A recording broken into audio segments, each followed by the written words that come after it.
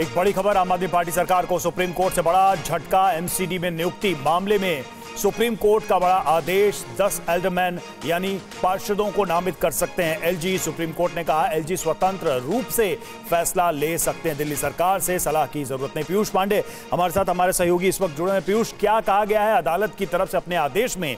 और कितना बड़ा झटका है ये दिल्ली सरकार के लिए? ये दिल्ली सरकार के लिए बहुत बड़ा झटका है और सुप्रीम कोर्ट ने साफ़ कर दिया है कि उन्नीस सौ तिरानवे का जो एक्ट है, उसके तहत ये पावर एलजी के पास है एलजी इस मामले में स्वतंत्र हैं कोई भी फैसला लेने के लिए और उनको किसी भी तरह से दिल्ली सरकार या फिर मंत्री परिषद की सलाह लेने की ज़रूरत नहीं है और सुप्रीम कोर्ट ने सीधे तौर पर एलजी की ओर से लिए गए फैसले को हरी झंडी प्रदान कर दी है। आज ये दिल्ली सरकार के लिए बहुत बड़ा झटका है।